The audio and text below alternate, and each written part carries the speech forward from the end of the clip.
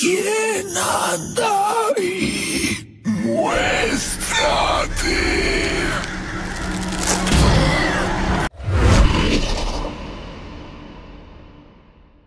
Todo era tranquilidad en Runaterra. Sus tres naciones independientes buscaban sobrevivir y progresar en un continente que cambia constantemente de escenario y estructura. Sin embargo, algo ha despertado en este mundo, algo ancestral, algo terrible. El horror eterno acecha los bordes de la sociedad mortal, atraído por los espacios en donde la paranoia abunda, el cual se alimenta de sus aterradas víctimas. Fiddlesticks, petición que no ves. Fiddlesticks, el primero de diez.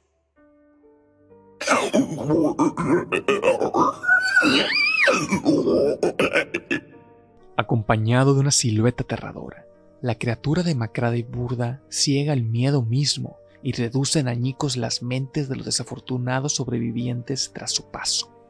Cuidado con el graznizado del cuervo o con el suspiro de la forma que parece ser casi humana. No tengas miedo, no te haré daño. Fiddlesticks ha vuelto. Hace mucho tiempo, en una torre a la orilla del mar, un joven e imprudente mago trajo al mundo algo que no podía controlar. Aquello que sirvió frente al muchacho era mucho más antiguo que la historia misma, algo más oscuro que una noche profunda sin estrellas, algo que el mundo había tratado de olvidar con desesperación. En ese instante, el mago, la criatura y la torre se perdieron en el tiempo. No abras los ojos. No te detengas. O por lo menos es lo que las historias cuentan.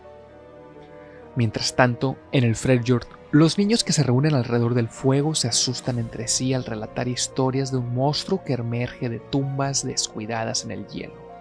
Su cuerpo es un amasijo destartalado de cascos, escudos, pieles y madera. En aguas turbias, los soldados ebrios intercambian impresiones sobre una silueta que está de pie en una isla diminuta y distante, en la que nadie ha regresado. Por su parte, los veteranos noxianos prefieren la fábula del peón condenado a ser alimentado de cuervos por los resultados mediocres de su cosecha. Según la historia, este hombre retornaría después al mundo como un demonio. ¿Qué es eso? ¿Qué es eso? Demacia, Ixtal, Piltover, Jonia, Shurima, en todas partes del mundo de League of Legends, los mitos prevalecían entre todos los rincones modificadas, adaptadas y transmitidas de generación en generación entre narradores. Estas historias coincidían en una cosa que se asemejaba a un ser humano, al acecho de lugares completamente aterrorizados.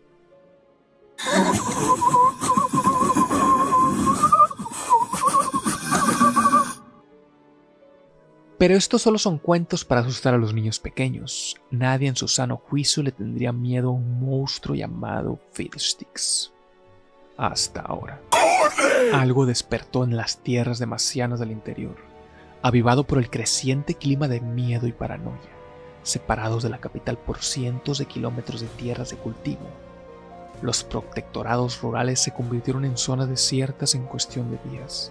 Los viajeros desaparecen de los senderos antiguos, las patrullas enviadas a las fronteras del reino nunca vuelven para reportarse, y los desesperados sobrevivientes que se resguardan en las tabernas al borde del camino pierden la razón entre gemidos de cuervos que no son cuervos, sonidos que no son sonidos, y una silueta simétrica con forma de espantapájaros que grazna con las voces robadas de los muertos. La mayoría culpa a los magos rebeldes, Escuchar este tipo de acusaciones es común en estos días de insurrección. Sin embargo, la verdad es mucho peor. Algo regresó, tal y como dice el relato ficticio del joven mago en su torre junto al mar, un ente maligno que se ausentó del mundo por incontables siglos, tiempo suficiente para que las advertencias de la naciente humanidad se convirtieran en rumores, en mitos y en leyendas, hasta que lo único que quedara fueran simples fábulas una entidad tan extraña que desafía todo tipo de conocimiento contemporáneo sobre la magia, tan imposiblemente ancestral que siempre lo ha sido, tan temido de manera universal que incluso los animales se ponen nerviosos al escuchar su nombre. Tras este retorno hay otro cuento, casi olvidado, que ha resurgido a lo largo de las tierras del interior.